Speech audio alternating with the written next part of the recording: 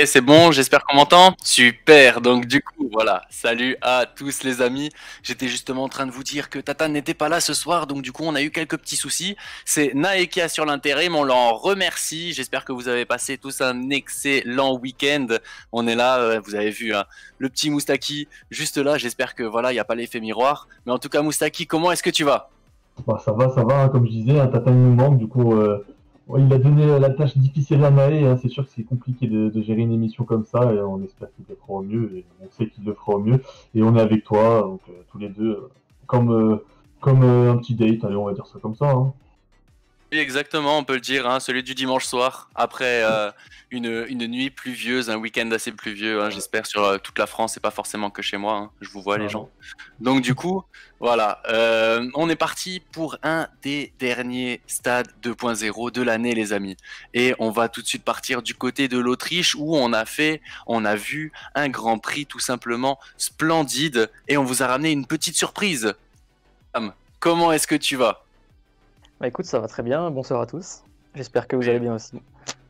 Bonsoir, bonsoir William, c'est le grand gagnant de la Q1 hein, et j'ai envie de dire euh, le Lewis Ham- Hamilton un petit peu de, de eSport FA.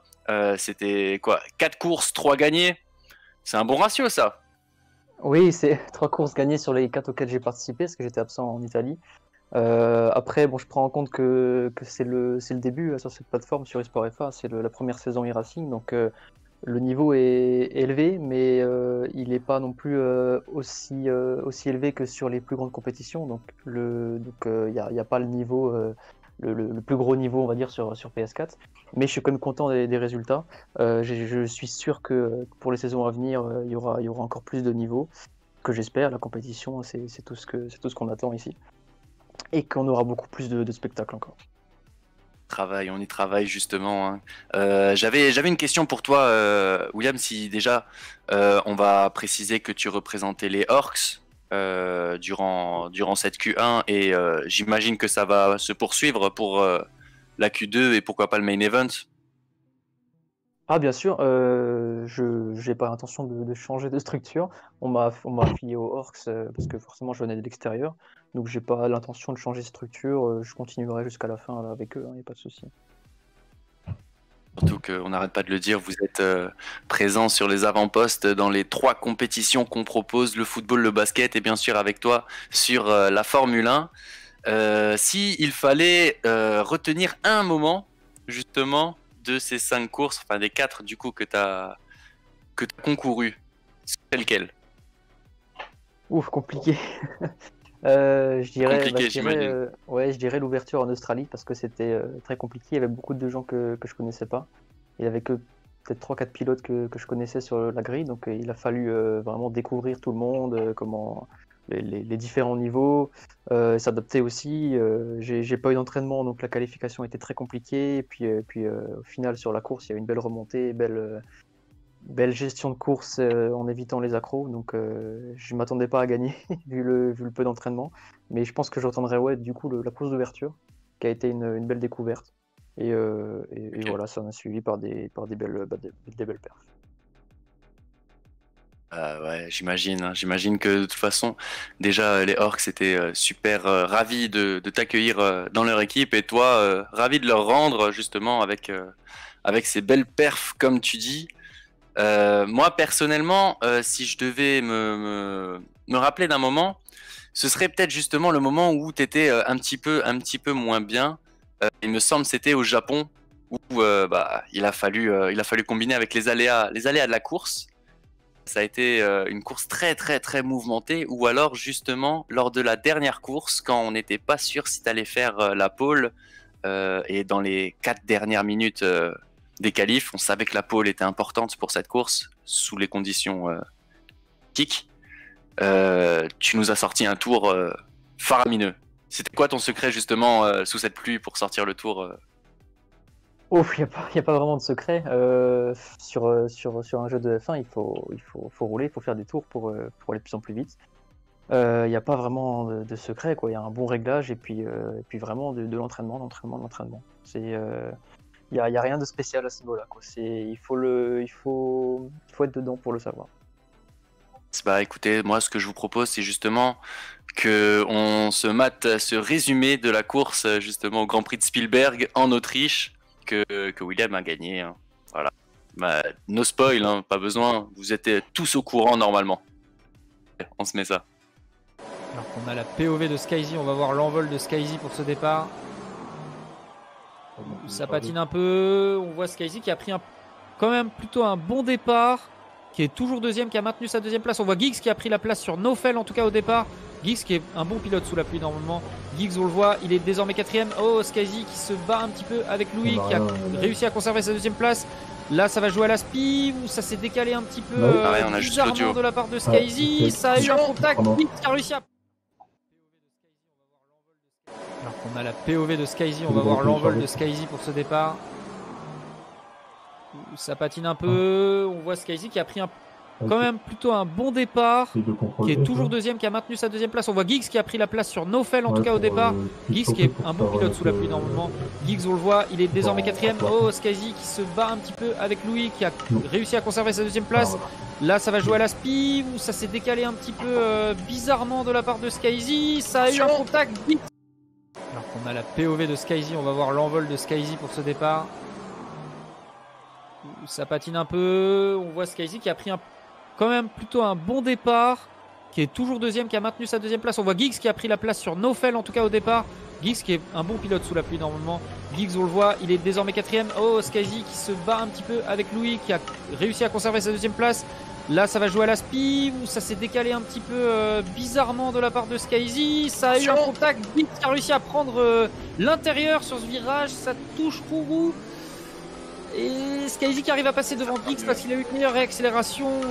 Giggs euh, qui reste quatrième pour l'instant. Il n'y a pas eu de dégâts normalement. En tout cas, du côté de Giggs, il n'y a pas de dégâts. Je sais pas du côté du Skyzy ou Louis. En tout cas, William qui a un peu. euh, qui a un peu euh, profité de cette bataille, qui a pu prendre un petit peu euh, d'avance. Déjà, on voit Skyzy hein, qui est repassé derrière Giggs.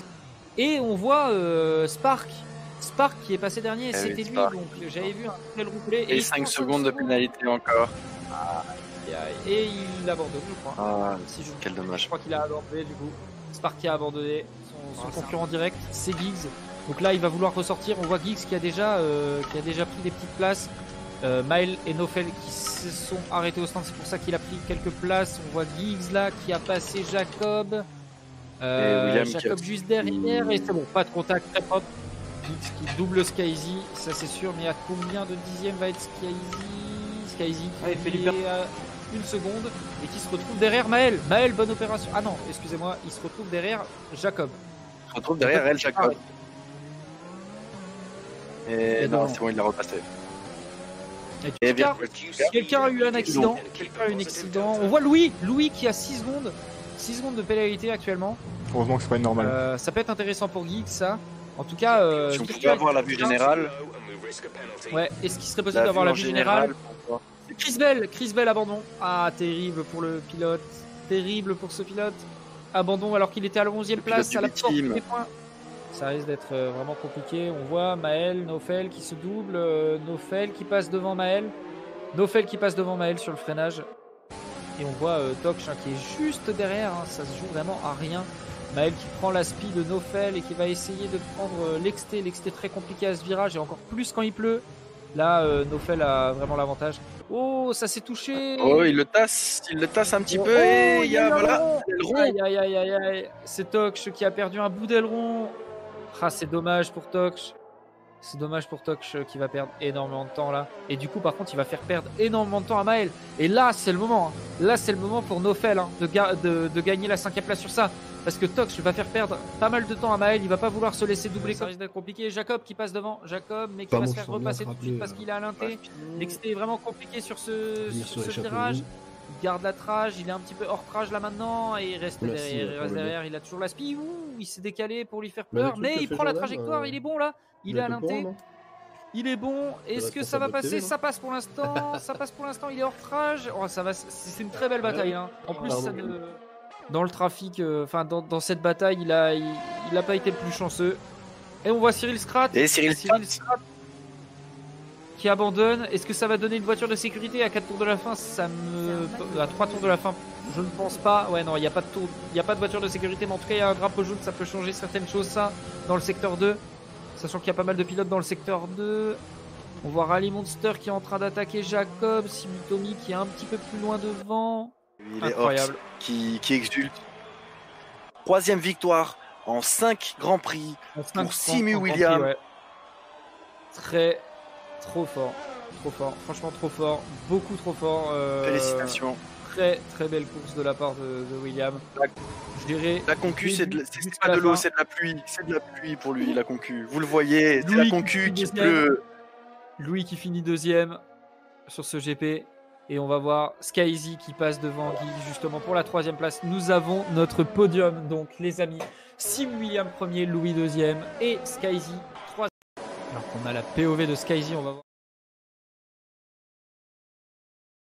Voilà, donc là vous voyez justement, alors euh, c'est le fichier Excel. Moi je pensais que tu allais sortir le, Photoshop, Nae. là c'est le fichier Excel pour justement voir tous les XP de, de, tous les pilotes. Hein. Comme vous voyez, euh, pas mal de pilotes euh, qui ont couru pour, pour cette saison eSport FA, c'est Qualifiers 1 avec euh, bah, William hein, qui nous a ramené 4650 XP pour les Orcs qui se situe à la première place. Si on pouvait juste voir le, classement général justement. Le classement général. Je te l'avais envoyé le, Photoshop avec le classement. juste un petit instant. Alors, un petit instant, hein, on va le présenter. Ce sera très très rapide. Euh, pas de souci, les amis. Le voilà, il est là. Voilà. Donc 88 points, William. 88 points. Tu nous as ramené en 4 grands prix avec euh, justement ce, petit point en plus euh, en Autriche avec le meilleur tour. Oui, ouais, c'est sûr. je, suis content. Euh, ça a été euh, quatre courses quasi parfaites, à part le Japon où j'ai foiré totalement la stratégie, où Jacob, justement, lui, a réussi à, à, faire la bonne stratégie en ne s'arrêtant pas, ce qu'il fallait faire. Euh, oui, rien d'autre à dire euh, spécialement. J'en profite du coup euh, pour passer un message, parce que ce, genre de, choses, ce, genre de nouveau départ, de, nouveaux jeux dans une plateforme comme eSport FA, ça permet aux, personnes de, qui ne connaissent pas forcément F1 de, se lancer. S'il y a des personnes qui se lancent dans, ce genre de jeu et qui, qui n'ont pas forcément de, niveau, n'hésitez pas à rouler sans les aides. C'est que comme ça que vous arriverez à progresser et à vraiment tirer le meilleur de vous-même. Voilà. Donc c'est vraiment, si vous mettez des aides, c'est comme sur FIFA, si vous mettiez des aides au pass ou des aides au tir, vous vous atteindrez jamais le meilleur potentiel de vous-même. Donc voilà, c'est le conseil que je peux donner. C'est tout. De commencer tout de suite justement sans les aides dans le dur et de, garder la monoplace. Euh. Ou alors une ou deux aides maximum, mais, mais le moins possible. Voilà, tout simplement. Ok. Ok, ok. Et parmi là, justement, tous ces pilotes qu'on peut voir, euh, est-ce qu'il y en a un où justement tu penses, euh, enfin, un rival, on peut dire, c'est comme euh, comme on en voit comme on en voit beaucoup. Est-ce qu'il y en a un qui pourrait être susceptible de, de égaler, voire de te dépasser pour la Q2 Oui, alors il a rejoint en cours de saison. Il n'a pas fait toutes les courses. C'est Louis, euh, qui est très très rapide. Johan aussi, mais il n'est pas inscrit. Il est uniquement remplaçant. Mais c'est les deux pilotes qui sont très très rapides, voire plus rapides que moi dans certains moments. En tout cas, on, est à peu près à rythme égal. Euh, mais c'est ouais, les deux, deux personnes qui sont vraiment des rivaux principaux. Et MNT en force, euh, les amis. On en profite justement pour euh, du coup vous présenter ce, ce podium, hein, Simi Williams des Orcs pour 80, 88 points. Première place, Mister Skyzy de la FDA eSport, 64 points. Ça a été une grosse, grosse bataille justement et c'est Geeks d'Acosta qui arrive troisième le pilote de l'Estudiantes pour 4 points de moins. Suivent ensuite El Jacob de Chamalière, 51 points. Il a réussi justement à rester à glaner. Vous le voyez au niveau des points. Vous avez entendu grosse stratégie au Japon et ensuite à grappiller le plus de points possible pour euh, assurer cette quatrième place. MNT Louis et MNT Johan, les pilotes de la Wanted et Wanted et Orcs, qui euh, ont donc fait 49 et 36 points. Suivent ensuite F1 Simutomi de Asgard, 30 points Simus Park d'MGFC avec 20 points à égalité avec Maeligno de la Louvière. Chris Bell, deux fois le meilleur tour en course à Monaco et en Italie. Ça lui permet d'avoir 13 points et de dépasser Bruno le remplaçant de pilote chez la FDA. Suivent ensuite Naufel qui a fait sa première course justement lors de la dernière en Autriche avec 10 points. Bonne entrée en matière. Antoine, le goal mexicain et Jalilo de Invision et les deux derniers de la Team Rocket suivent avec 9 et 8 points pour les deux derniers. C'est le top 15. On passe tout de suite du coup sur le classement constructeur où, bah, sans surprise, hein, vous l'avez bien vu, euh, Orcs domine ce classement avec 106 points. Quasiment que des victoires, c'est une folie. Hein. C'est une folie. Suivent FDA avec 76, La Wanted 68 points, et ensuite, les Studiantes qui est classé seulement quatrième avec 60 points. Chamalière 51, Asgard avec 30 points, MGFC 20 points, la Louvière également 20 points, la Team Rocket avec euh, leurs pilotes différents qui se classent 10, avec 18 euh, points 9e, SGS One Vision à la 10e place 14 points, suivent ensuite Ubiteam 11e, Ecclesia 12e, Toulon eSport 13e, Vision 14e et Bergerac 15e avec deux petits points. Euh, là maintenant, ce que j'aimerais, si c'était possible, c'est de présenter les XP qu'ont gagné toutes ces structures. Parce que c'était bien de participer à le classement constructeur justement qu'on avait sur, euh, sur Excel. Parce que voilà, comme dit, voilà, c'était bien de participer à, cette compétition. Et cependant, voilà, c'est pas pour rien, c'est pas pour euh, juste glaner des, petits points comme vous le voyez. Ces structures-là ont remporté pas mal d'XP pour la fin du, du championnat. Je préfère vous dire justement les deux équipes qui sont à moins 50, c'est-à-dire le FC Nantes et euh, la Clutch Rain.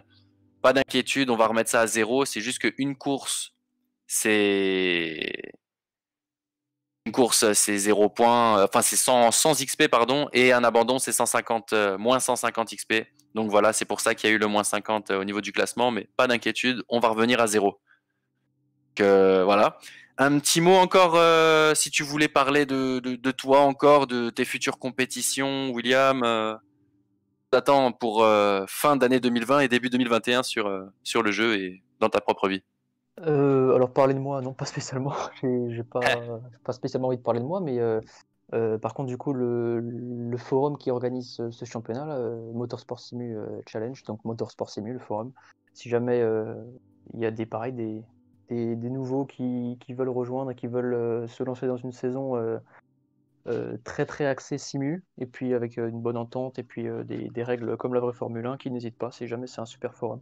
C'est la seule chose que j'ai à dire. Sinon, moi, je m'y connais pas vraiment sur le fonctionnement eSport FA, donc je ne sais pas comment ça se passe après la Q1. Donc je le découvrirai aussi, si jamais. Et voilà sera aux premières loges pour justement découvrir comment ça se passe après la Q1. La Q2, ce sera à peu près le même format et le main event, ce sera les meilleurs des meilleurs. Alors du coup, voilà ce qu'il y avait dans cette semaine pour l'e-racing. Je vais céder le micro à Moustaki et on va tout de suite passer skate, les amis. Et ouais, on va partir sur basket. Merci à Saban et à William pour cette euh, magnifique euh, intro euh, Formule 1. Et là, on part sur du basket avec des playoffs qui ont très bien commencé car trois quarts de finale ont été joués sur les quatre. Il en manque un et il sera joué demain dans la soirée. Mais on peut déjà voir le tableau des playoffs que nous a réalisé notre cher Florian. Si possible, voilà. Alors on voit que la Orcs, l'Orcs, euh, l'équipe, la structure que représentait William, a gagné 2 à 0 euh, son quart de finale face à Ecclesia, qui avait euh, joué les barrages face à One Vision, si je ne dis pas de bêtises. Peut-être que j'en dis. Pas possible. Et du coup, après, on a vu euh, Bibolasgard qui s'est incliné malheureusement face à FDA et on verra donc une demi-finale Orcs-FDA qu'on va euh, regarder avec impatience. Hein. Deux grosses équipes euh, très attendues dans cette compétition.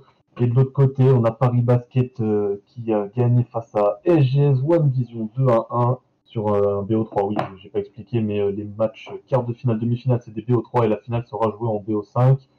Et match de troisième place si les équipes veulent la faire on la fera. Et du coup, euh, Paris Basket qui avait mal commencé, on en parle souvent, mais qui avait mal commencé euh, euh, leur, groupe et qui ont dû relancer un roster et qui réussissent à atteindre les demi-finales. et ça sera contre la Louvière ou contre l'élan qui se jouera demain dans la soirée. Sinon, pas grand chose à dire hein, sur le basket. J'ai pas de visuel, on n'a pas pu voir les vidéos, mais on va voir une finale normalement qui se déroulera vendredi, qui sera streamée justement sur sur eSport FA en compagnie de moi-même, peut-être Misa et KMCB si il est là, et on sera là pour voir un grand, grand, une grande fin de ces playoffs. Yes, eh ben nickel Moustaki. On va pouvoir passer à, la semaine que tout le monde attend. C'est euh, la semaine de, de l'eFoot pour le finish avec la, Gold, la Gold Champions qui va opposer les 8 meilleurs clubs francophones sur les 44. Et euh, on a même l'occasion d'avoir euh, les managers avec nous qui vont nous rejoindre. Le temps qu'ils retrouvent un petit peu euh, le chemin euh, du, couloir pour les studios. En attendant, il nous propose le bracket, magnifiquement réalisé par Ben, et on lui remercie pour euh, son travail de qualité. La Gold Champions qui va opposer donc la Orcs Grand Poitiers qui était champion de la Black contre le RC Grasse qui a dû batailler en Battle Gold contre la Wanted. Le RC Grasse qui s'était imposé. La Louvière qui a été euh, directement qualifiée. Elle, en black, affrontera Thunder Rock, qui était euh, en white second. La Louvière, elle, a, terminé euh, troisième. Van Olympique, du côté de la Black Champions, elle a terminé deuxième. Elle va affronter FDA eSport, qui a, qui a terminé troisième. Et enfin, il y aura Atlantid Wave, qui a battu Nantes au Battle Gold. Atlantid Wave, qui avait fini cinquième en Black Champions et qui va affronter MGFC euh, eFoot, euh, vainqueur de, la White Champions et vainqueur de, de l'EFL 2020. On a avec nous euh, déjà quelques invités, mais est-ce qu'avant ça, on, va d'abord les saluer et peut-être après enchaîner sur la Silver, c'est ça, Chaban? On peut en parler encore de la Gold, faire nos propres pronostics et après on balancera justement le petit résumé qu'on a fait sur, sur la Silver. On, salue justement les GM qui sont arrivés dans l'émission qui, comme a dit Misa, ont retrouvé le chemin dans, dans le studio. Exactement. Alors, je te laisse, euh, je te laisse les présentations, Chaban, vu que tu es le présentateur de cette émission Stade 2.0. Déjà, on a, on a Akatosh, Akatosh qui a rejoint. Salut Aka, comment tu vas? Hello messieurs, vous m'entendez bien? Yes, nickel. Akatosh qui est le gardien de, de la Louvière e-foot. Gardien et... tout à fait. Gardien et justement euh, grand grand défenseur. Euh, euh, je, cherchais une connerie à, à balancer, je suis désolé. ça a flopé, ça a flopé. Ça a, ça a flopé, ça arrive. Hein. Neiza, Neiza aide-moi, Neiza, le GM de Van Olympique. Neiza, comment ouais, Salut tout le monde, salut Saban. Ça va et toi? Tranquille? Ça va, ça va super. Très content de t'avoir parmi nous, tout comme euh, Fred, XFred22. Fred. Salut les gars, ça va ou quoi? Comment ça va? Bah super, hein, super. Ça fait plaisir de vous avoir tous pour euh, justement euh, cette Gold Champions. Avant les hostilités, vous êtes là, vous allez pouvoir discuter avec nous et, et pouvoir nous dire un petit peu quels sont vos, vos, petits, vos petits a priori, vos petites appréhensions avant cette compétition on va déjà commencer par. Alors, euh, il y a d'autres invités hein, qui vont arriver. Je vais, je vais les inviter tout de suite, comme ça on est au complet. Alors, il y a le joueur de euh, la FDA eSport, RR euh, Fabino, qui est là. Et normalement, il y a aussi alors là, on est au max. il faudrait sortir William des studios. Parce qu'avec les conditions sanitaires, on peut pas être plus de 10. Donc il faudrait sortir euh, William du, groupe Discord. Si tu le peux, Naï. Je, quitte la. non, mais tu es propriétaire. Non, non, toi c'est tout bon euh, pour Fabino. D'accord. Hop, nickel. Et on va inviter du coup le manager de Thunder Rock, Jinkan, et voilà, on est au complet pratiquement. Il y aura peut-être Babadino qui va nous rejoindre. Il est dans le groupe en tout cas, s'il nous entend, il peut rejoindre quand il veut. Voilà, je te laisse terminer les dernières présentations. Du coup, Chaban avec RR euh, Fabino et Jinkan. Voilà, alors du coup, euh, On a, on a un petit retour, mais en tout cas, voilà, comme vous l'avez entendu, ils sont là, ils sont, ils sont bien présents. Fabinho, comment tu vas? Ça va très bien. Ça va, ça va super. Donc, Edinkal euh, qui nous fait euh, aussi euh, l'honneur d'être d'être présent. En fait, on, vous les présente, mais Dinkal, comment ça va? Ça va une question à tout le monde. Hein. Je sais, je suis désolé. super. Et... En fait, on vous les présente, mais les gars, vous, les connaissez déjà. Ils sont déjà parmi les plus connus pro-français. Exactement. Tout simplement. Ils font partie du top 8. Le top 8, ça a été euh, pas évident pour arriver jusqu'à là. Bah, ça promet une très très grosse compétition, justement, Misa. Euh, toi, au niveau de la Gold Champions, est-ce que tu as des questions à leur poser à, tous ces champions et à... effectifs? Ah bah, ah bah, déjà, on va poser la question à, Fred pour commencer, puisque lui, il est arrivé avec les Battle Gold. Du coup, un petit peu son impression sur euh, ce Battle Gold contre la Wanted et son match face à la Orcs demain. Ouais, ouais, ouais. Bah, c'était euh, bah, déjà la bataille, euh, c'était compliqué. c'était euh, contre NBD, c'était une bonne bonne équipe qui était en forme surtout. Mais bon, moi, je, suis content de mon groupe parce qu'on a un groupe solidaire et, ça s'est vu rien que sur les sur le match 2 et 3, on a vu que malgré la défaite, on a réussi à se relever et, limite on a réussi à dominer les matchs. Donc euh, franchement c'est cool. Après euh, on affronte quand même euh, Orcs une, équipe je pense c'est c'est une des meilleures.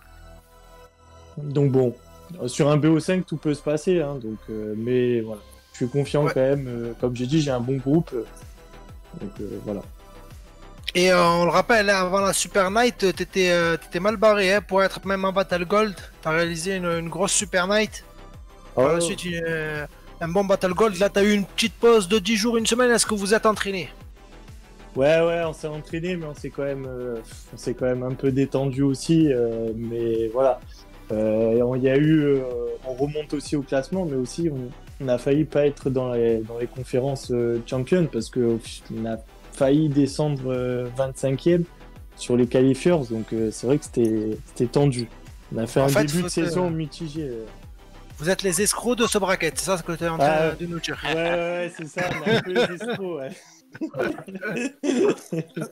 bah écoute, ben on espère que ton coup demain marchera encore contre la, la Horse Grand Poitiers. Est-ce que nos consultants ou après nos invités ont des questions à Fred Alors euh, oui, si tu devais justement euh, euh, mettre un, de tes joueurs en avant avant justement cette euh, Gold Champions, lequel, euh, sur lequel tu miserais? Qui va le plus nous éblouir justement pendant la compétition C'est une question compliquée parce que franchement, moi, comme j'ai dit, il n'y en a pas un qui surpasse un autre. C'est un 11. C'est le collectif complet qui fait que on montre de belles choses. Chaque joueur compense les efforts des autres. donc Franchement, je pense que c'est toute l'équipe qui va briller demain et qui va vous faire briller. Donc, c'est tout ce qu'on vous souhaite alors. merci. Et ton favori pour cette compétition? Franchement, mon favori, eh, j'aimerais dire grâce, mais je vois MGFC, euh, je vois MGFC euh, quand même euh, oh. être champion. Tu peux pas dire Orcs du coup. Hein.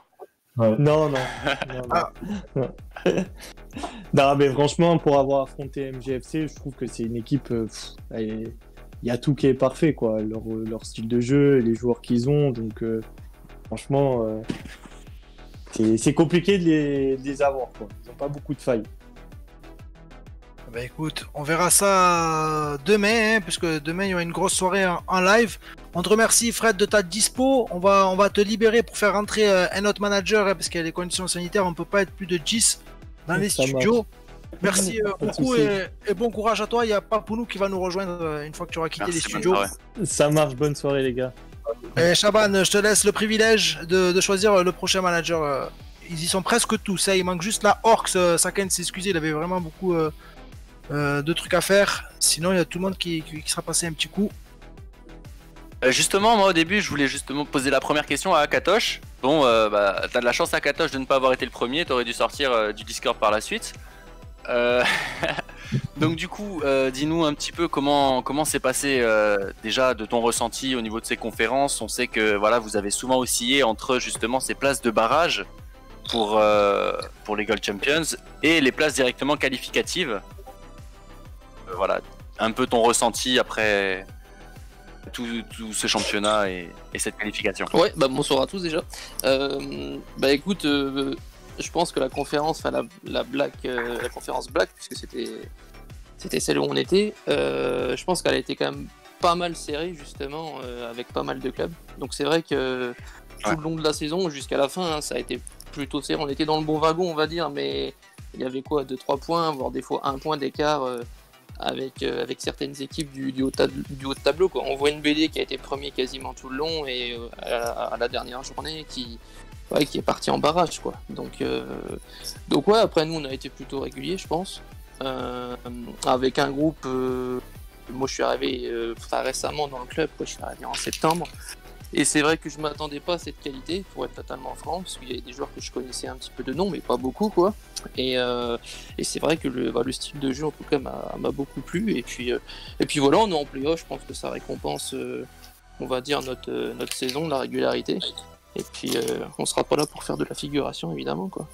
Toi, Kato, l'année dernière, euh, tu avais connu déjà les, euh, les playoffs hein, avec NSN euh, ouais, enfin NSN non, c'était plus Obsession avec N'Golo Obsession aussi, à l'époque.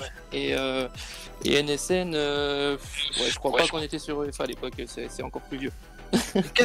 Qu'est-ce qui est le plus dur à gérer alors du coup dans un BO5 Bah mentalement c'est c'est vraiment la c'est vraiment l'aspect qui est le plus le plus difficile, je pense, parce que c'est long. Et euh, on sait que le jeu, il est, il est, pas évident, il est énervant. Enfin, ça reste, ça reste FIFA, quoi. On connaît tous le jeu. Euh, c'est vrai que c'est pas juste une soirée, tu joues de 21h à 23h et tu t'arrêtes ta session. Là, euh, je reprends des matchs de la saison passée, notamment Bestou, vs Samcro. Ça a gagné, il me semble, 2-0 et Samcro est revenu à 3-2. Donc, il peut y avoir des, des revirements c'est vraiment un autre. Euh, la, vraiment, là, ouais, la tactique, euh, il faut l'appréhender vraiment autrement et spécifiquement pour, euh, pour des matchs en BO5. Mais ouais, je pense que le plus difficile, ça reste le mental. Et demain, t'affrontes Thunder Rock? Ouais, Thunder Rock, ouais, l'équipe amicale du coup. Bah écoute, on verra. Hein. Je pense que sur le papier, ça reste plus ou moins équilibré au niveau des styles de jeu, tout ça. Après, c'est clairement le mental et la tactique qui va faire la diff, je pense. Ok, et si euh, tu devais désigner un favori là sur la compétition? Bah, le favori, euh, ceux qui ont la pression entre guillemets, je pense, de faire un résultat, c'est MGFC, tout le monde les attend. Maintenant, euh, on sait très bien qu'il peut y avoir des surprises au niveau des playoffs. Ça a été le cas chaque saison. Donc, des clubs qu'on n'attend pas, qui se hissent, qui se au plus haut, et bah, j'espère que ça sera la Louvière. et ton prono sur Orcs RC Grasse par exemple? Tu peux affronter en demi-finale Qui tu vois si vous passez? C'est RC Gras, si tu m'as dit? Orcs, Grand Poitiers. Bah, dans la logique, euh, moi, RC je ne les ai pas beaucoup joué cette saison, donc euh, je vais pas avoir un avis vraiment, euh, vraiment objectif. Mais Orcs, je les ai déjà joués, ils sont chiants. Ils ont un jeu vraiment euh, un peu méta et tout, avec des centres qui partent sur les côtés assez forts. Je donne les tactiques hein, pour que euh, vous puissiez les, les, battre si vous les rencontrez. Donc euh, vraiment, un jeu que je voilà, que j'aime pas vraiment, mais assez, assez efficace en fait sur ce FIFA. Et en fait, ils ont des, ils ont des bons joueurs aussi. Quoi. Donc ça, je pense que c'est je pense que c'est l'équipe qui a la, plus grosse puissance des d'équipe entre guillemets après MGFC quoi. Mais, euh, mais ouais, je, vois plus Orcs en vrai. Donc, euh, mais RC Grasse, euh, ça joue aussi. Quoi, donc, faut voir. Ok, très bien. Est-ce que Shaban Moustaki, vous avez des questions Alors, ou, c'est tout bon? Non. Je vais laisser Moustaki parler un petit peu. Moi, à chaque fois, la question bateau, c'est qui va remporter la compétition pour donner un peu de suspense et donner un peu de stress aux, ah, ça a déjà été posé, Moustaki moi qui m'a sur bateau, mais justement, c'est pour ça que j'ai dit que. Moustaki qui est euh, spécialiste basket. Ah, moi j'avais une question, j'avais une question. Faut pas trop lui en demander. j'ai une question, j'ai une question pour Akatosh. Dis-moi, euh, de, de 1 à 10, euh, la, la pertinence des propos de, de Moustaki ces 5 dernières minutes je, vais, éviter, j'ai pas envie de me faire Allez, on, va passer à.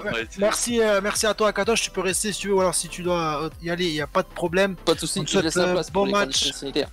Yes, merci. bon, bon, match à toi et on suit ça demain de près. Ciao. Chaban, le prochain. Invité, du coup, là. Chaban, du coup.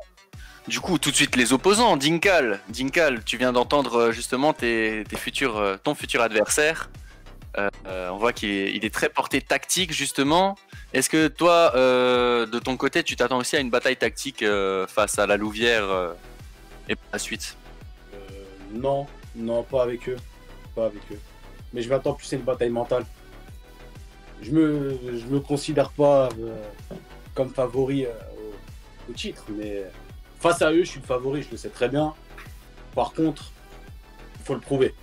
Moi, personnellement, si je dois parler pour ma personne, je pourrais dire que je suis prêt. J'ai un groupe jeune qui découvre la compète. Est-ce que eux sont prêts? Ça, c'est mon, mon, travail. Et là, c'est au-delà de la tactique. À partir de ce moment-là, c'est que du bonus. Ils vont faire une quête d'expérience. Ils y arrivent, tant mieux. Ils y arrivent pas, saison 2, on y arrivera. Le temps d'engranger justement un petit peu d'expérience. En tout cas, j'espère que parmi les, viewers, il y en a plusieurs qui, font partie de ton groupe et qui savent que voilà, vous êtes les favoris, les amis. À vous de vous le prouver. Vous pouvez le faire. Hein. donc, euh, vous avez entendu le, message de votre GM. Ils le savent, ils le savent. Ils savent très bien ce que je pense. Ils savent très bien ce que je pense. Mais par contre, euh, respect à la Louvière parce que je suis peut-être le seul de la communauté euh, PS4 qui, qui a annoncé leur, leur place dans le podium c'est une équipe que j'ai beaucoup regardée et qui essaye de, placer un jeu propre à eux, contrairement à beaucoup de clubs. Et justement, euh, j'ai une petite question pour toi, Jinkal. Alors l'année dernière, tu avais participé à, la première édition de l'eSport euh, Football League. On va pas se, mentir, ça, a été euh, un échec. Cette année, tu es revenu, tu revenu, tu as réussi ben, à, performer, à te qualifier du coup pour la Gold, qui est un peu l'équivalent des, des playoffs. Qu'est-ce que tu as changé dans ta façon de faire pour, euh, pour réussir à atteindre tes objectifs? Bah, bah là, je suis obligé de faire un peu euh, un mea culpa pour euh, la saison dernière. Bah déjà, premièrement, la saison dernière, pas, je n'étais pas trop investi déjà. J'étais en, j'étais en adjoint avec Petros et, et Bax, tu vois, que j'ai gardé derrière. mais là, maintenant, j'ai repris les rênes, c'est-à-dire tactiquement et dans le recrutement. L'année dernière, j'ai perdu 4 joueurs, dont 2 mystérieusement qu'on n'a toujours pas revus. Vous savez très bien que quand on fait une équipe, on a une colonne vertébrale et qu'on la perd, c'est compliqué. Hein. Surtout. Euh, tout à fait. Je peux être qui je veux, je peux avoir fait le rendement que je veux, mais ça ne marchera pas. Et du coup, c'est ton premier euh, BO5 euh, en club pro. on a vu l'année dernière des rebondissements de fou en, playoff. De ton côté, est-ce que tu vas aborder ça à un match classique? Est-ce que tu vas partir avec un groupe plus élargi? Comment ça va se passer? Alors, En tant que groupe, euh, bien sûr, un groupe. Moi, je concerne tous mes joueurs. Depuis le début de saison, aucun de mes joueurs n'a effectué toutes les rencontres parce que j'estime que tous mes joueurs ne sont pas efficaces sur tous les matchs. Il y a des, certains critères qui sont plus utiles que d'autres, certaines euh, appréhensions du jeu plus utiles qu'un autre. Par contre, je les respecte tous, ils ont tous leur temps de jeu, ils ont tous, euh, tout le monde va avoir du temps de jeu dans ce BO5 parce que j'estime que tout mon groupe est capable de battre la Louvière et pas 11 joueurs tout simplement. On sait que ça a été important, hein, on le rappelle, euh, Sam Crow Thunder Rock l'année dernière. Thunder Rock qui a été managé par Saken, gagné deux manches à zéro.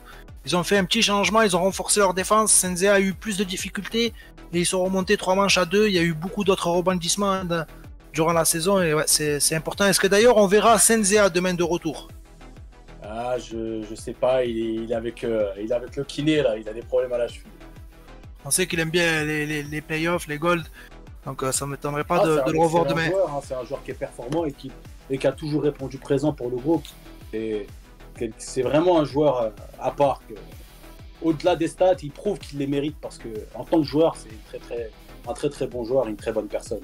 Rien à dire sur son Et une dernière question, et puis après on va passer à Babadinho, le manager d'MGFC. Qui est, est, ton favori là, pour, pour cette compétition, pour cette gold?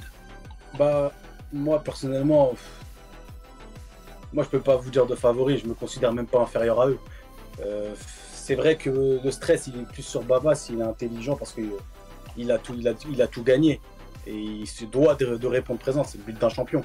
Maintenant, si on connaît un, peu euh, le monde du club pro, on sait très bien que c'est le groupe Asaken qui, qui fait peur. il y a les, les plus anciens noms avec les plus gros taux d'expérience, avec des retours de très très grands noms. Euh, pour moi, c'est eux les favoris. Il faut être intelligent et il faudra vraiment appréhender les choses, surtout pour le RC Grasse, parce que ça va être compliqué demain.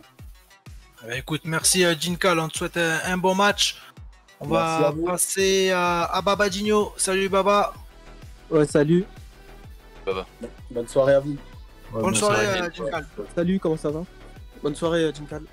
Alors euh, Baba, demain, euh, ben, vous êtes euh, en Gold Champions, on va dire un petit peu sans, trop de surprise. Si on le rappelle, l'année dernière en, EFL automne, tu, n'étais pas manager, mais le MGFC était en play down et s'était fait éliminer en huitième, l'équivalent d'un peu de la silver, des huitièmes de la silver. Donc ce soir, est-ce que tu as déjà ton 11 de départ pour demain? Comment tu vois un petit peu cette semaine décisive? Euh, bah, là, j'ai ouais, toujours pas mon 11. De toute façon, je le fais toujours au dernier moment. J'attends de voir les dispos, etc. Donc, euh, j'ai toujours pas. Mais sinon, non, en vrai, euh, c'est vrai que pendant la saison, euh, c'était. On n'a pas trop eu la pression de, lors des dernières journées parce qu'on savait que voilà, c'était pratiquement fait mathématiquement. Mais là, par contre, c'est une autre histoire. C'est vraiment une autre histoire là. même au niveau de comme on le prépare psychologiquement, euh, c'est vraiment une ouais. Vous jouez à Atlantis Ouais, vas-y, pour, euh, pour Babadinho, justement. Comment a fait la Orcs pour être la seule équipe euh, à venir à bout de, de, ce cadenas? C'est, à Torque, non qui a, qui a battu. Torque, pardon. Oui, Torque, Torque, Torque, pardon. Oui, oui en plus, je l'avais en bah, tête. Bah, en vrai, dans le scénario du match, bon, on va mettre à part que le fait qu'ils ont mis un but à la 90e, euh, même s'ils marquent à la 90e, ils sont allés chercher ce but. En vrai, euh, nous, pendant ce match, il y a dû avoir euh, soit des concentrations ou soit eux, ils ont poussé pour essayer de mettre ce dernier but. Et quand, moi j'ai analysé le dernier but, j'ai analysé le match et j'ai vu que, par exemple, Torque a fait ce que pratiquement aucune équipe a, nous a fait depuis le début de l'année. c'est attaquer. C'est euh, jouer euh, vraiment attaqué à beaucoup. Quand j'ai vu à la 90e, il y avait six personnes devant. J'ai vu, voilà, ils étaient vraiment déterminés pour marquer. Le mec, il fait son centre, ça tombe sur quelqu'un qui est tout seul dans la surface. Donc, euh, non, vraiment, ils sont allés chercher la victoire. Il n'y a rien à dire. Fallait, fallait qu'il y ait du monde devant pour récupérer ce centre, comme tu dis.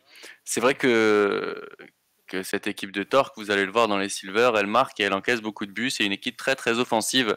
En tout cas, voilà, toutes mes félicitations pour euh, ce parcours. Hein. Une seule petite défaite euh, en, Champions, c'était létal hein, pour avoir été parmi les les personnes en face. Euh, je vous le dis, c'était très très létal. Et bah là, face à Atlantid Wave, ça risque de ne pas forcément être la même partie de plaisir pour toute la compétition, justement. Changement de format.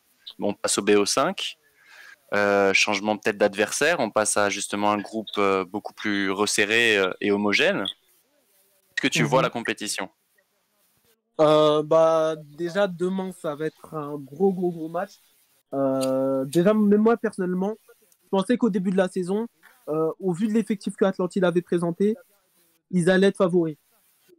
Mais par contre, là, ce qui s'est passé, c'est que là, j'ai encore plus peur d'eux parce qu'ils sont un peu dans la situation dans laquelle euh, moi, quand j'ai pris MGFC au tout début, on l'a été. C'est que bah, au début, on, a, on était très moyen, voire euh, on perdait un match sur deux, on était vraiment en dessous. Par contre, quand on s'est remis en question, c'est là où ça a commencé à monter en puissance. Et là, je sens qu'Atlantide, ils sont dans cette phase-là où il y a, la remise en question et que demain, ils vont venir avec des attentions qui seront tout autres que ce qu'ils ont qu'ils ont fait euh, dans certains matchs euh, dans la saison euh, régulière. Yes. C'est qui ton favori alors du coup dans cette compétition? Moi je me vois pas favori. Enfin, je me vois comme l'équipe qui... Bah, la pression elle est, elle est, sur nous, ça c'est sûr 100%. c'est nous on doit faire des, des résultats, mais l'équipe qui vraiment qui est capable de, de nous battre, bah, déjà je pense à Atlantide demain, mais euh, par exemple, euh, là, par rapport à l'équipe qui va passer entre euh, les deux équipes demain, si on réussit à vaincre la Orcs. la Orcs, ça sera que la finale, ouais. Ça sera que pour la finale. vraiment, ouais. C'est que si on arrive à être. Si... C'est la Orcs qui, qui, me fait vraiment, vraiment. Il y aura FDA aussi, peut-être en demi-finale. Puisque c'est vrai que FDA, on les a jamais battus. 0-0 deux fois, il me semble. On les a jamais battus. Euh, donc, euh, non, en vrai, euh, toutes les équipes, là, là, je trouve que toutes les équipes, ils sont au niveau. Là, il n'y en a pas une qui est en dessous, une, on aurait aimé tomber contre eux. Là, toutes les équipes. Elles sont là, on les attendait. Ouais, ouais. écoute. elles sont là, quoi. Écoute, merci Baba pour ta dispo. On te souhaite eh ben, un bon match demain avec ton groupe. Est-ce que tu vas prendre un groupe ou 11 joueurs? Je... je... pense que ce sera 11 joueurs. Je pense que je vais jouer à 11 plus attention, attention, attention au carton rouge et euh, au carton jaune, hein, parce que ça peut aller vite. Ouais, mais il y aura pas, si tout va bien, il n'y aura pas de changement normalement. Oui, voilà, voilà. et même si tout va mal, il n'y aura sûrement pas de changement, à part si euh, voilà, il y a un événement qui fait que je perds un joueur, mais sinon, non, le BO5 il sera, il sera 11. Euh, voilà. À part si je suis obligé de changer. Ouais. Ok. Merci à toi. On va passer à Papounou, bah, le manager d'Atlantide. Bonsoir. Salut Papou. Alors, euh, ben, tu avais euh, recruté une grosse équipe pour ce projet Atlantid Wave. Tu as bien démarré les qualifiers avec euh, à chaque fois des demi-finales ou des finales. Puis en Champions, vous étiez plutôt bien parti. Il y a eu un coup de mou. On a, on a cru vous perdre. Et puis finalement, lors de la Super Night, vous avez tout donné pour, pour vous qualifier et arriver en Battle Gold avant de gagner le, le FC Nantes avec même un but de ta part au match aller et voilà maintenant en gold. Qu'est-ce qui s'est passé euh, avec ce petit coup de mou? Bah écoute, je pense que c'est l'équipe a perdu confiance à un moment. Ils n'arrivaient plus trop à, pratiquer le jeu qu'ils voulaient. Après, j'étais pas très dispo. Enfin, de base même, je voulais pas trop jouer. Donc euh, j'avais laissé Yass et Even Mekogem gérer un peu. Après, Yass aussi à un moment a eu une indisponibilité.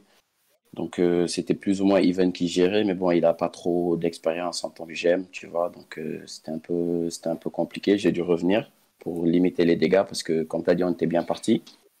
Et on a eu deux semaines où vraiment on a fait des résultats catastrophiques. Concrètement, d'où on s'est retrouvé, on était entre les trois premières places, on s'est retrouvé sixième si je me trompe pas. on a dû batailler pour passer au, au barrage contre les anciens. C'était un match très serré. On est, on est passé vraiment, euh, ça s'est joué à peu de choses. Et voilà, maintenant, bon, là, on a essayé de travailler pour préparer le match contre MGFC parce que pour moi, c'est les grands favoris. C'est l'équipe la plus solide, que ce soit offensivement, défensivement. Je crois que c'est eux qui ont le plus de buts marqués, le moins de buts encaissés euh, sur toute la ligue. Donc, euh, on sait que demain ça va être très dur. Hein. On n'est pas, on est clairement pas. Euh, il n'y a que des joueurs qui ont de l'expérience quand même par, au BO5 hein, par rapport à l'année dernière. Ils ont tous fait des, BO5. Ouais, exact. Mais même nous, hein, je l'ai vu le recrutement qu'on a fait, c'est des joueurs aussi qui ont de l'expérience par rapport à ça. Ouais, ouais, c'est ça. Ouais, tous les groupes des, équipes, les deux groupes sont expérimentés. Est-ce que tu vas partir à 11 joueurs ou, ou, avec un groupe de 12, 13, voire 14 Ouais, sûrement un groupe de 12, 13. Sûrement un groupe de 12-13 joueurs pour bien préparer le match parce que, comme tu dis, il y a, les...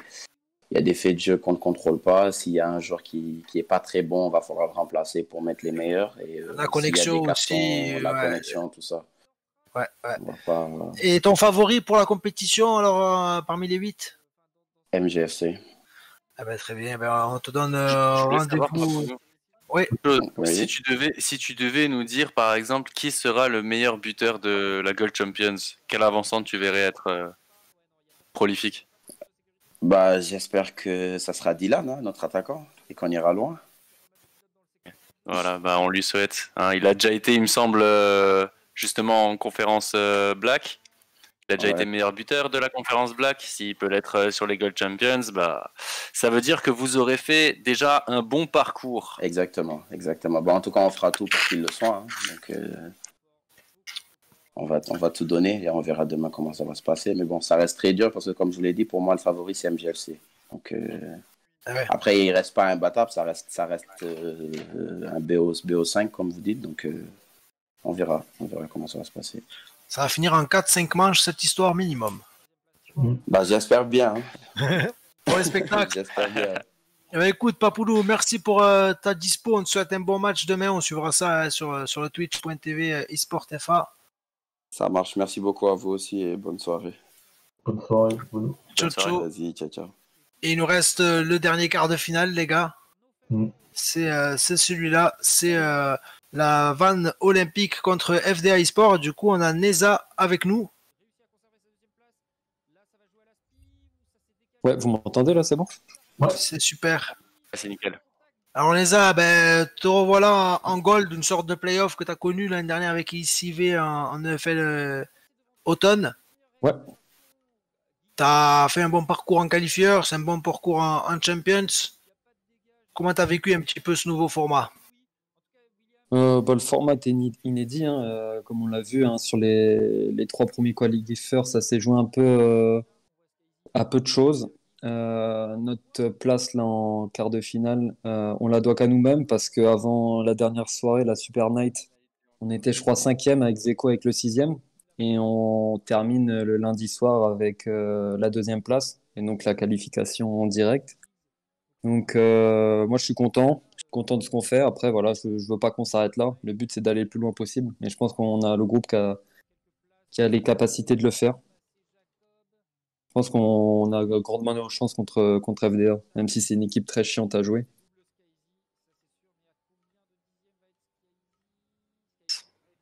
C'est sûr que ça s'annonce euh, très très serré justement entre, entre vous deux, alors qu'on voit voilà, qu'il y a eu des, petites, euh, des petits allers-retours, des petites péripéties, mais ouais, en tout cas, euh, Neza, vous avez eu un jeu très direct depuis bah, le début, même pendant les qualifiers. Hein, vous avez terminé en finale des premières qualifiers. Pas loin d'en gagner une autre, il me semble, voire, dans... vous en avez gagné une autre, je, me rappelle plus très bien. On perd en finale la première, on perd en demi la deuxième et la troisième en quart, je crois. Ouais, après les qualifiers, c'est pour. Euh... Vraiment serré. Mm. Mais ce que je voulais dire, je voulais dire, c'est quand même après, ça a confirmé en, en conférence, deuxième place. Euh, là maintenant, il, il s'agirait justement de, de soulever un trophée et pas forcément de, de fouler la pelouse et de regarder le trophée à côté euh, ou le soir à, à fait quart, hein, quart, maximum, c'est ça, toi hein Ouais, avec CIZ, c'était en, en, quart ouais, quand on avait battu NBD. Ouais. Ben écoute, euh, et ton favori? Ouais, j'ai pas bien entendu. favori. Pour, Juste ton, fa ton, favori du euh, coup. Moi, je pense pas qu'il y ait de, de, vraiment de favori, à part euh, MGFC qui est, qui est, le champion de, de, la dernière édition. Mais je, moi, je vois beaucoup d'équipes qui sont capables d'aller au bout. Je pense à, à MG... bah, un peu comme ouais, je voilà. pense à bon, les, les, les, gros noms, enfin les grosses têtes, c'est euh, MGFC, Orcs et Thunder pour moi. Ok. Ok, ok. Bah écoute, euh, on va voir si vous arrivez à sortir euh, votre épingle du jeu avec, euh, avec Van Olympique, justement. Ça promet déjà un premier match chaud bouillant contre bah, justement FDA. On te souhaite une énorme ah, soirée. J'ai une petite question. J'ai une petite question. Ouais, ouais. encore Qu'est-ce que ça fait de gérer le V7 dans, dans un vestiaire? Ah. Alors, comment il faut le gérer? Il faut lui promettre des maillots du Milan AC. Euh, pour qu'il donne tout sur le terrain. ok. Voilà, c'est noté, les gars, si vous voulez le recruter pour, pour Q2, le V7, c'est un coup de, de, maillot du Milan AC. Et pas, et pas, Milan, le, pas le version, pas celui édition spéciale qu'ils ont sorti, qu'il n'a pas, qu pas apprécié. Merci, euh, Neza. On va passer à, à Fabino. Merci, les gars. Bonne soirée. Bonne soirée. Bonne soirée. Oui, allô Et on est avec euh, Fabino de, de, FDA eSport. Salut à toi. Salut. Alors, euh, ben, FDA, euh, cette année, ça a été repris euh, par euh, Mario. Il y a, il y a Royce aussi euh, qui vous a rejoint, qui est expérimenté. Il était assistant manager sur MGFC. FDA, l'année dernière, ils avaient connu un parcours plutôt moyen. Cette année, ben, le club, avec les nouveaux joueurs, le nouveau staff, montre un nouveau visage. Oui. Vous avez, vous, vous avez fait un bon parcours en qualifieur, sans Champions vous étiez pas loin à un moment donné de, de pouvoir chipper la première place. Vous avez fini euh, troisième. Oui, mais on a, on a perdu des matchs qu'on n'aurait pas dû perdre, comme on a eu du mal contre Nantes et Thunder Rock, qui nous ont posé beaucoup de problèmes avec leur tactique de jeu. Euh, à FDA, donc on a un groupe euh, un peu soudé parce qu'on joue depuis longtemps ensemble.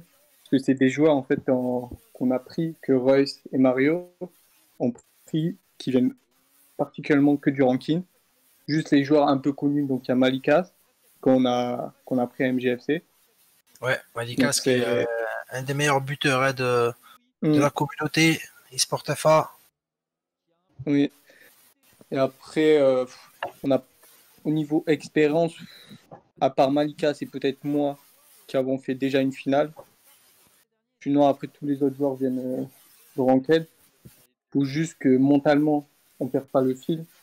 Que, Ah ouais, quand- BO5, ça va leur faire bizarre. Ouais, c'est la première fois. Parce que quand on, quand on encaisse en premier, après l'équipe a du mal à se relever. Donc il faut que mentalement on soit prêt. Ouais, ouais, là, tu peux perdre deux matchs et encore gagner tu- euh, demain, Voilà. j'imagine. euh, Donc, c'est c'est tout autre chose. Est-ce que, après, il y a Royce qui, qui a un peu l'expérience, puisqu'il est, enfin, même un peu beaucoup, parce qu'il était euh, avec MGFC l'année dernière. Il saura peut-être un petit peu euh, vous aider là-dessus. Est-ce que tu peux nous dire un petit mot sur ton adversaire, euh, Van Olympique? Je pense que Van a le même potentiel que nous. faut juste que mentalement on y arrive. faut pas les sous-estimer. Et il faut qu'on rentre direct dans, la, dans le premier match. Dès la première manche. Et Mm. est-ce que tu as un favori là pour, euh, pour la compétition? Euh, MGFC et Atlantide, que je trouve ils ont de gros joueurs 1v1. Et je trouve que offensivement ils sont, ils sont bons, ils font les bons choix. Ouais, tu vas, tu vas pouvoir les affronter peut-être en, en demi-finale si vous passez euh, contre Van Olympique. Mm. Ben écoute, euh, Fabino, je te remercie pour, euh, pour ta dispo. hein. On te suivra demain sur euh, le Twitch euh, eSport FA pour, euh, pour ce BO5, pour ces quarts de finale de, de Gold Champions. Merci. Chaban, tu as peut-être une question? Oui, non, non, j'avais pas, j'avais pas forcément de questions pour euh, au niveau du foot euh, pour euh, FDA. Mais tu peux aller. Euh, c'était, ouais, c'était plus une question euh, au niveau de la Formule 1, mais bon, ça, euh, on, y va- on en parlera lors d'un prochain Stade 2.0. Je préparerai la question bien. euh. Ouais. Il y a une petite, euh, ouais, il y a un petit truc qui me, qui arrive avec euh, justement. euh, Ben écoute, on suivra ça.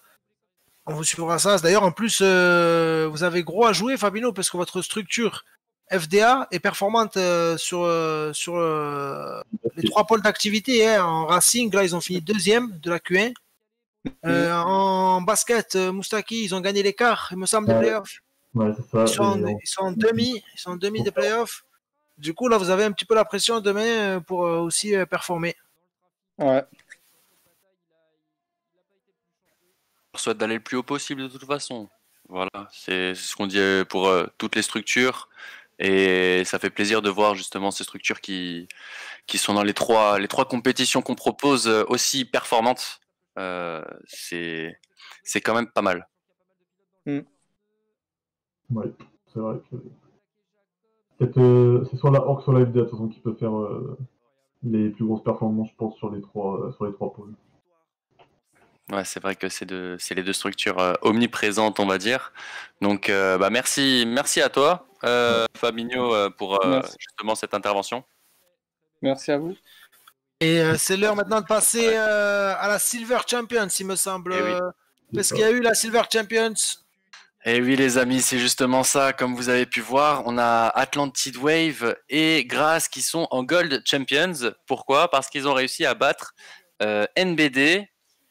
Et, et, et c'était Le FC Nantes e-sport. FC Nantes eSport, exactement. le FC Nantes eSport justement.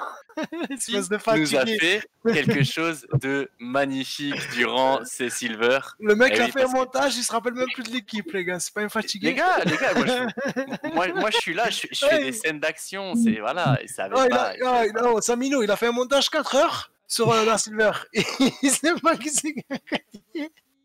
Eh, c'est passé vite fait, c'est passé très très rapidement. Mais les amis, le FC Nantes, qu'ils ont été splendides de toute façon lors de cette euh, Silver Champions. Euh, ça a été long. Il y a un match qui a été très très long à couper, je pense. euh, Vous savez exactement euh, Ah oui. match euh, je veux parler, mais en tout cas, voilà, on peut se lancer la vidéo tout de suite et la commenter en direct. C'est ça que je vous propose, Moustaki et, et Misa. Avec, avec un Ah, petit partage d'écran. Un petit partage d'écran, et oui, et oui, euh, Naïf, je vous partage euh, l'écran. Pas de souci. Donc, ce sera prêt dans, dans vraiment pas longtemps, les amis. Que des actions de fou, quoi. Ouais, c'était bon. Vas-y, go. Et voilà, donc du coup, on est, on est lancé. C'est qu'il y a du, y a- on doit commenter nous là dessus? Ouais. Tu nous as dit juste avant. Waouh, le magnifique bracket qui nous a fait. Petit mal. Et c'est euh, le FC Nantes contre Nuke Stars. C'est euh, les huitièmes de finale là. Ouais, c'est ça. Et là, on avait vu un, un match. euh, Ouais, c'est les huitièmes de finale. ouais, à fait. Samino, magnifique enroulé. Et ça faisait déjà 1 à 0. un match compliqué pour le FC Nantes qu'on avait suivi avec Misa justement et, et Mezo avec nous. Pas de bêtises. Et Nuke Stars avait égalisé. Hein. 1 à 1. C'était le match aller des huitièmes de finale de la Silver Champions. C'était lundi sur eSport FA. Et on voit le deuxième but ici de la Nuke Stars. Et on se disait peut-être que c'était la fin euh, pour, euh, pour la FC Nantes. Mais Jimmy ici, il vient marquer un petit but important au match retour. Rappelle hein, que c'était match aller-retour avec le but à l'extérieur qui, qui compte double. Ça a joué euh, énormément dans. Magnifique là, magnifique action avec la finition de Flint qui termine au fond 1-1. Et euh, Voilà. du coup, le FC Nantes devait marquer un but absolument. Et euh, 50 bien évidemment, comme toujours, pratiquement c'est Samino. pour le petit trou. Et également l'Escala qui a eu une belle occasion pour essayer de mettre le 3-1, mais euh, le gardien est bien intervenu et le ballon retombe sur Samino une nouvelle fois pour euh, le doublé ou même le triplé, je crois, de cette rencontre. Non, le doublé, puisque Jimmy euh, a marqué le premier but. Jimmy justement sur ce côté droit. Avec Samino qui la glisse pour l'Esca et euh, l'Esca qui termine 4 à 1. Qualification du FC Nantes pour les quarts de finale. On enchaîne sur Torque contre Dijon avec un, un premier but de fraté, un petit 1 à 0. Et d'autre côté, il y avait euh, Trélissac contre XCIV. Trélissac qui, qui vient de la ranked, hein, Chaban. Tout à fait. Trélissac qui vient de la ranked, euh, qui s'est qualifié face à la FRS et qui va euh, justement, malheureusement, être éliminé sur ce penalty, le seul but des deux matchs aller-retour. On passe Ah, tout de suite sur Toulon contre Bergerac, justement, au match Ouais. aller. Je te laisse euh, commenter. Bergerac en rouge, les hommes de, la Huche, voulaient euh, faire une bonne performance dans ces Silver, mais euh, Madriano également avec SC Toulon, première occasion au bout de la huitième minute de jeu, et euh, voilà le petit but vous avez vu là de la part de Madriano qui a de l'expérience. Il a eu euh, cette occasion euh, plus de 1000 fois, puisqu'il joue depuis 2012, 2013, 2014, il joue depuis euh, des années. Et Pepe Vargas euh, également, il est là, il est présent depuis un moment. Il a signé de, de Zephyr à Bergerac pour la glisser à XK, le facteur clé, mais c'est pas rentré cette fois-ci. Et à la deuxième reprise, euh, ça rentre cette fois-ci euh, pour euh, Bergerac qui égalise juste avant la mi-temps. Un petit nul qui pouvait Tout les suite, satisfaire. justement. Et tout de suite, justement, tout de suite au moment de l'engagement, ce crochet qui va offrir un penalty pour Toulon qui va leur permettre de gagner 2-1. Euh, là, de nouveau, juste avant la mi-temps, Misa, pour le Ouais. coup. C'est le doublé de, de Madriano. Et Bergerac n'a pas dit son dernier mot. Regardez, c'est la 88e, 89e minute qu'on joue. Et ils vont réussir à arracher l'égalisation avec Ronaldo, ce but à l'extérieur qui va compter énormément, puisqu'au match retour, Bergerac et Toulon vont se séparer sur le score de un but partout. Regardez Scorpio qui marque et de nouveau à- au début euh, du dernier quart d'heure ouais, de jeu, ouais, Bergerac qui va match. égaliser. Fin de match. Hein. Et c'est pour ça que ce but le à la dernière ballon, minute. le ballon, il était pour Toulon, hein, mais euh, contre-attaque. Et c'est parti rapidement de hein. l'avant. Quand t'as le latéral Ouais. qui monte un petit peu trop et qui est pas forcément couvert, c'est c'est létal. Le Alors là, clé. Le la facteur Zoria clé qui a contre obsession. Zoria contre obsession, vous avez une petite vue gardien. C'est voilà pour changer un petit peu, ça fait toujours plaisir. Eh ouais. Petit dribble sur le gardien et, et le 1, 1 à 0 justement lors du match aller. Et là le match retour, l'ouverture du score de le- la Zoria en les dernières minutes du jeu, 84e minute. Regardez, ça va perf. aller très vite. Bonne. On accélère, donc du coup, récupération, et tout de suite après, Kaizen, la passe. Oula. 2 à 0 pour la Zoria face à Obsession dans les dernières minutes de jeu. Ah, on continue, on enchaîne hein, avec euh, Asgard face à SGS, Asgard euh, avec leur tradition. Qui, qui arrive à trouver justement des ouvertures euh, magnifiques et qui marquent 1 à 0. Malheureusement, ils vont vite être euh, montés au score, un partout. Ils vont quand même continuer dans cette première mi-temps avec de nouveau cette même frappe, la transversale rentrante, la gamelle, comme on dit au baby-foot. 2 buts à 1. Et encore euh, avant la mi-temps, hein, dans les dernières minutes, gros gros pressing. Ils vont réussir à marquer le, Le 3-1, très, très bien joué, là, le- cette anticipation. Après cette passe en profondeur, le petit crochet et le but. C'était magnifique, hein, ce huitième de finale entre Asgard et SGS euh, One Vision. Mm. Ça a joué au foot, ça c'est sûr et certain. Il y a eu des buts. hein, Voilà, à l'heure de jeu. Réduction du score 3 à 2 pour euh, Asgard face à SGS. Et au match retour, bah, comme je vous ai dit, hein, les matchs, euh, les buts à l'extérieur, ils comptent énormément, surtout euh, dans ce genre de configuration. Cette frappe, magnifique, lourde, croisée, qui, trompe le gardien d'Asgard. Et on joue euh, là les 20 dernières minutes. À ce moment-là, bah, SGS euh, était déjà qualifié SGS va doubler le score. 2 buts à 0 pour SGS et s'assurer une place en quart de finale. Face à ZPR face à Clutch euh, Rain, le gardien qui s'est trop décalé. Clutch qui marque euh, le premier but, mais euh, ZPR qui va très très bien se, se réveiller, moi je vous le dis, dans, dans cette action. Voilà, le but de Léao. Et après, voilà, c'est ça, c'est celle-là. Elle est magnifique. Splendide cette reprise de volée. Et le match retour, de nouveau, on voit la Clutch Rain marquer le premier but, mais ZPR qui va égaliser sur corner. La balle, elle revient sur le tireur Ryan. Le deuxième poteau et le coup de casque de Baron Junior. Face à Estudiantes, face à NBD. Les Estudiantes qui aura gagné le, le- le- le premier match, hein, le match aller, sur le score de 1 but à 0 avant de complètement sombrer Misa. euh, Ouais, match retour compliqué, match retour compliqué. On le voit là avec euh, une très belle intervention de, de Kapstag qui a permis de relancer les Ziens et de pas les faire douter, de leur procurer une occasion avec Kardashovic qui, qui signe son premier but pour euh, son retour euh, en France, lui qui, qui avait joué en Turquie là pour le début de saison et qui, a, qui a une bonne réputation au niveau de, de eSport FA, un bon ratio. C'est pour ça que justement je te laissé le commenter. Je sais que tu apprécies particulièrement ce joueur. Ouais, il est très bon et là il met même un doublé Kardashovic. Il Si on le était, trouve euh. Il a eu un petit peu de mal hein, sur la Battle Gold pour son retour. Et là, il fait même une passe décisive pour euh, son ami euh, SF. Et parce que voilà, Ah, ouais, on, a ouais. dit- on a mis un petit peu de, de- de stabilo hein, sur euh, ce truc euh, low cost. Pas trop de budget. C'est pas très bien, C'est mais c'est pas fait, grave, c'est mal, fait très c'est mal. Oh, faut se dépêcher, allez, allez, on peut passer. En plus, ça dépasse, voilà. Voilà, on a passé quand même 3h30 dessus pour faire plaisir aux viewers. La prochaine fois, si tu peux en faire un de qualité, je suis preneur. On voit là le, le- le premier but, justement. Et Torque qui, qui gagnait donc euh, le match aller avant de, de se faire remonter euh, sur le match retour euh, par le FC Nantes. Ouais. Ils ont même euh, marqué le premier but. hein. Le, le réveil de, de Samigno et, et des siens, surtout de Lesca. Lesca, on le voit là, voilà, il récupère cette balle qui semblait perdue. Et là, ce coup franc, ce coup franc majestueux, pleine lucarne, magnifique. 2 buts à 1 pour Torca. On joue là, pour l'instant euh, ce match euh, plutôt tiré.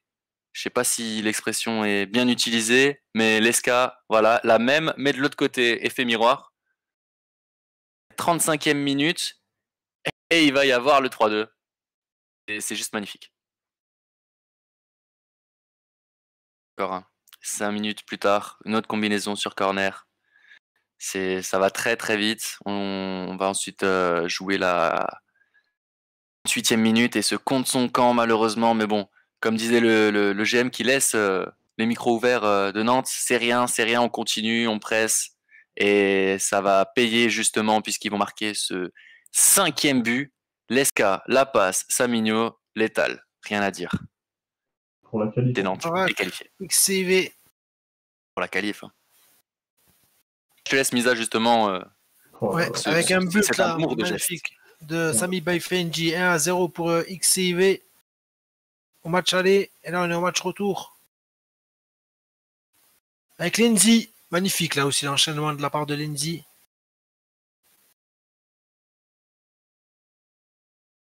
Bergerac qui ne va pas dire son dernier mot. Un bon centre au deuxième poteau. Mais malheureusement, ça ne suffira pas. XIV qualifié pour les demi-finales. GS c'est contre l'Azoria. C'est le match qu'on a aimé voir avec Misa. ce beau match 0 à 0. On est allé jusqu'aux prolongations. Et là, à la 123e minute, on vient mettre ce but pour la qualification du côté des GS. 0-0. Hein. Ouais, c'est euh, 2-0-0 et une victoire en prolongation à la dernière seconde. Et, euh, on a vu euh, le premier but euh, lors du match aller. Et ensuite, euh, bah, justement, euh, ZPR qui, qui va pousser et qui va être euh, très, très, très fort sur ce match retour. Engagement de nouveau, hein, sur l'engagement du, du but encaissé. Là, voilà, le gardien qui, qui ne peut rien faire, qui se fait fusiller euh, des deux côtés. Et bah, le troisième but qui va arriver très vite, vous voyez, 23e minute. La défense complètement pris de court. Ryan qui peut centrer pour Majin Balkan. Et dans les dernières minutes euh, de jeu, justement, carton rouge pour euh, ZPR, pour euh, Leao, et NBD qui, qui va réduire le score. Alors attention justement parce que les cartons rouges en Gold Champions, ça peut porter préjudice pour les matchs suivants. Là, vous l'aimez, hein, le voilà, il est là. Sais que vous l'appréciez. Moi qui l'ou fait. Donc euh, FC Nantes, XIV et SGS contre, euh, contre Zephyr pour, euh, de, pour euh, justement ces demi-finales. C'est du côté de, de la Beaujoire avec une équipe de Nantes, Kenzie, hein, tout simplement. Il, il confirme Silver Champions que cette compétition est, est pour lui. Non, pardon, c'était Saizen, c'était pas ouais. c'était Saizen. Là, Samigno qui trouve une faute, la frappe, au sol et le 2-0 au match aller. On passe au match retour. Passe de Samigno, Saizen, frappe croisée. Rien à dire, le FC Nantes qui, qui a su surnager sur, euh, sur cette demi-finale, même si XIV va égaliser juste ici. Voilà. Euh, Qui ZPR contre AGS Ouais, cette PRSG, c'est Ryan qui nous avait fait un très très gros, euh, très gros euh, Silver Battle côté de ZPR. Il est sur tout, le, quasiment sur tous les buts de son équipe. Et là 2-0, victoire des Zephyr et Nantes face à Zephyr en finale. Ah, et donc du coup, bah, pour Nantes face à Zephyr, on va pouvoir lancer la vidéo de, de, la finale, Nae, et euh, laisser justement champion commenter.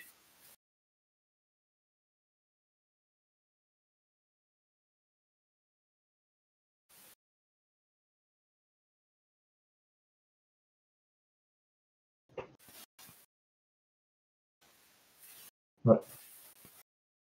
C'est commenté là L'audio. L'audio, il n'y a pas l'audio, L'audio, ouais, c'est commenté, il n'y a pas l'audio. euh, choc sur un MBO3 à la clé euh, Max Defap avant le choc, Max TXP pour le circuit euh, francophone. On le rappelle, il y a 44 équipes elles sont en train de se disputer plus ou moins le, le top 10. Enfin, c'est bien défendu. Attention à ces ballons, hein. faut pas les perdre avec ça. Ce diable, ça, c'est la frappe Ah, J'étais en train de te dire il y a quelques instants, faut, va falloir surveiller cet homme. Season, il s'est montré bien content lors des deux derniers matchs. Et là, il nous clarifie, il est clinique. C'est le premier tir de cette finale. Et regardez le groupe euh, nantais, mais cette frappe. Nija à toi. Incroyable. David, c'est là. Peut-être avant la mi-temps. il y a le doublement, il y a le doublement. Magin Balkan. Oui Goal, goal, goal, goal, goal, Magin Balkan pour l'égalisation. Balkan Power, je t'avais dit. C'était Eh, le joueur mais le plus expérimenté sur le terrain. Eh, on- côté manager, quand, euh, là, euh, à la mi-temps, est-ce qu'on se dit, on va essayer de marquer ou Eh oui, peut-être ou là. Attends, là, c'est on le Ça tir va, au- Faisal. Ça, avec un Oh, C'est. Sizen Eh, je me suis totalement trompé dans le pronostic Eh, c'est ce diable de. Sizen Regarde la lucidité Ah, il qu'il a a tué. Il a Eh, non, eh, Allez, il a tirs été- au but. je- Attention. Eh, Iron, il a pris le dessus sur ses... Sur, euh, sur ses- Il a pris le dessus, tu verras. Il a pris le dessus. Marque pour Zephyr. Zephyr. On- Il nous faut les tirs au but. Bien tiré, Eh oui, ça marque. Iron, Ça marque du côté il a pris le dessus. aussi. Penalty, oh, c'est bien tiré. Eh hein, oui, très, très bien ça le tiré. met. Il, nous faudrait les, les- les- Oui, voilà, 2 à 1 pour euh, la ZPR. Il la rate. Pour le moment. Oh non, c'est. Et il la met. Sizen, il confirme. Ah ouais, il pouvait pas. Non, mais c'est chaud. autour de Taiga. Taiga. Ouais, c'est bien tiré. Et c'est au fond. Eh, les gardiens maintenant, c'est le moment, c'est le moment gardien. C'est le... Il faut pas voir la main qui tremble, la. Hein. Et Vince Et Vince qui la sort Pour peut-être offrir une manche 3 à son équipe. Attention, c'est euh, le joueur maintenant de ZPR qui va s'élancer et il la met au Ouais, fond. Ouais, ouais, ils sont vraiment bien. Attention, si euh, Vince l'arrête, c'est terminé. Enfin, c'est terminé pour cette manche 2. Il y aurait donc une manche 3. Riyad. Et c'est au fond. C'est au fond maintenant la balle de match. La balle de la manche, elle est dans les pieds du joueur de ZPR. S'il la marque, il offre à son équipe une manche 3. Mais on connaît les talents de. Ayrod. Ayrod peut-être. Et non. ouais. Les Ouais. poulpes s'offrent une manche 3, les amis. Et c'est ce qu'on Bizarre, ouais, je disais, il a une coupure de courant, Ryan. Hein. Aïe, aïe, aïe, dommage. Dommage. C'est peut-être euh, The Syrah. Oh, Oh, le but Oh, le but Oh, but bizarre Oh, Alors, je dis, c'est doucement. C'est une histoire à apprendre, les personnages de eSport FA. tout Ils je peu, euh, ont tout, tous j'ai leur euh, petite personnalité, tu vois. Eh, j'ai compris au bout d'une heure et demie. Ouh, Misa, c'est ça Euh, c'est bon. Il a. David qui la glisse à Kingsley. Et voilà, Kingsley qui la met euh, pour Syrah. Pour Syrah, celle-ci. C'est euh, Kingsley qui réduit le score 2-1 symboliquement pour montrer que Zephyr, c'est aussi ça l'esprit qu'a inculqué Sauce dans, cette euh, équipe de foot. C'est euh, de ne rien lâcher jusqu'au bout, même si euh, les carottes sont cuites. On joue, on joue, on respecte l'adversaire, on, y- on, fonce et on, on donne ce qu'on peut. Comme ça, on, on a zéro regret. C'est vraiment ça la symbolique de ce but, de cette fin de match qui reflète tout ce travail. Et bravo, bravo à, à Samino, à toute son équipe et une grosse, grosse dédicace à Sino pour ce titre aussi parce qu'il le- il le mérite.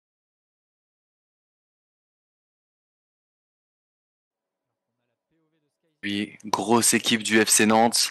Hein, on a fait justement euh, un jeu avec euh, les deux personnes qui m'accompagnent, Misa et Moustaki. euh, C'était semaine dernière. Et je suis très très très content de pouvoir vous dire que depuis les huitièmes de finale, j'ai que trois erreurs. Contrairement à vous, je les ai comptées. euh, on va pas, on va pas aller plus loin dans, dans, dans l'explication, même si je me rappelle d'un petit clip où Misa me dit que je sors la cote à 500 et que vous, vous avez sorti les choses un peu plus probables. Hein, mais bon, voilà, on va pas rentrer dans les polémiques, les amis, ça ne sert à rien. Il est tard, 20h32. On remercie tout le monde qui était là pendant le stream à, à nous regarder, à justement euh, se renseigner sur les dernières nouveautés eSport FA. Misa, tu voulais dire une petite chose encore? À qui tu voulais dire une petite chose encore? Ah, on va remercier hein, qui a remplacé Tatane et qui a dû faire euh, un gros boulot hein, pour, euh, pour euh, tenir euh, ce, ce live et cette émission qui nous tient à Ouais. cœur. Et qui sont passés et exactement. Merci aussi aux GM hein, qui sont venus pour l'interview. Et demain, je crois qu'il y a un dispositif un petit peu spécial hein, préparé par Tatane. J'en sais pas plus, mais je crois qu'il y a quatre euh, casteurs, euh, un casteur euh, par quart de finale euh, et un plateau. euh, je sais pas ce qui va se passer, mais ça va être Poli. dingo. Il y a des amuse-bouches aussi. Est-ce que tu es au courant, Oui, on est au courant. mais- J'ai juste Ah ouais, envie de bah donner l'eau à la bouche. euh, Ah bah, dis-nous alors. C'est Ah bah là, simple. Moi, je suis pas au courant. Dis-moi alors. Je- J'en ai appelé Tatane. Imaginez, raconte-moi. imaginez un repas. Imaginez un repas de Noël. Vous avez 10 000 plats. Ils sont tous aussi bons les uns que les autres. Et vous pouvez goûter de ci, de ça à chaque fois. Bah, ce sera exactement pareil avec le stream. On va essayer d'être le plus présent possible. Donc euh, voilà, soyez prêts. C'est-à-dire Bah, C'est-à-dire, on va essayer d'avoir un œil, euh, bah, comme d'habitude avec le multiplex, mais d'habitude on a un œil seulement avec le multiplex. Là, on va essayer d'avoir les deux yeux sur toutes les pelouses. Les commentateurs. Qui sont Du les coup, voilà. commentateurs alors du coup? Euh, parmi les commentateurs, on a, on a plusieurs duos qui ne sont pas encore, euh, qui ne sont pas encore, euh, c'est pas encore fait à 100% en fait, Misa. Donc du coup, voilà, on pourra donner l'information demain sur Twitter, mais il y aura, il y aura du beau monde qui. Ouais, il y aura, il y aura qui? World Champions. Euh, Tu vas pas lâcher dedans? Bah, on, il y aura Ah, du je monde. lâche pas, moi. Il y aura du Je suis une bombe. Il y aura du monde, il y aura des très très beaux noms. Il y aura euh, Marcel Desailly, euh, il y aura euh, Bernard Diomède. Ah, non, non, non, pas Serge Lama. euh, Malheureusement, il n'a pas pu se libérer. euh. Est-ce que tu Ouais, seras ouais, dommage Est-ce que tu seras là? Demain, on s- mais demain, on, demain, on saura. Demain, on saura. Non, mais toi, je- tu seras là toi demain? Moi, je serai là, moi, évidemment. Moi, je serai là. Je Moustaki serai là pour. euh, Moustaki sera là? C'est pas sûr. Moustaki, justement, il fait partie des peut-être. Moustaki, il est en Ah, pour parler. Il a pas- Et moi, je serai là? Et moi, je suis prévu ou pas?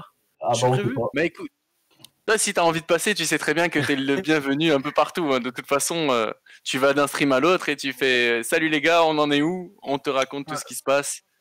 Les gars. euh, Il y en a y en à la Real.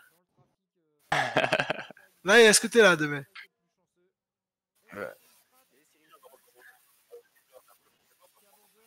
Voilà, les gars, demain, ça va être un truc de ouf. Il va y avoir quatre commentateurs euh, c'est- et, et- et une table à manger, apparemment.